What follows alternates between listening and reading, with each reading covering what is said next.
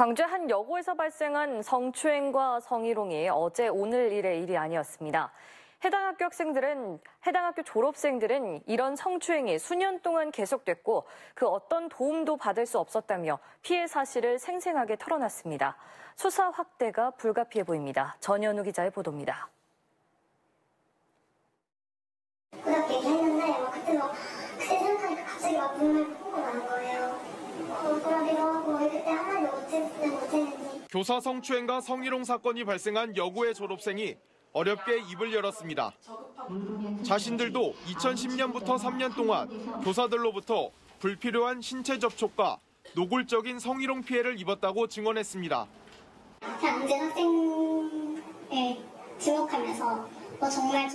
문제 정말 이랬던 것 같아. 정말 아무한테나 뜬금없이 성추행은 수업 시간에도 끊이질 않았습니다.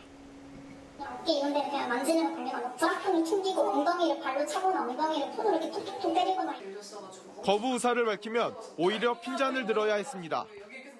학교라는 폐쇄적인 공간에서 이뤄진 탓에 누구에게도 도움을 받을 수 없었다고 호소했습니다. 남자 선생님은 가해를 저지르고 여자 선생님은 그 강간 무인 방조한 거죠. 파장이 커지면서 시민단체는 교육청의 적극적인 대처와 경찰의 수사 확대를 요구하고 있습니다.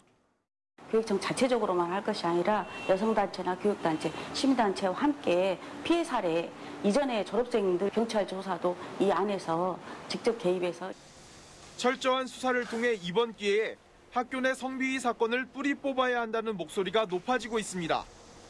KBC 전현우입니다.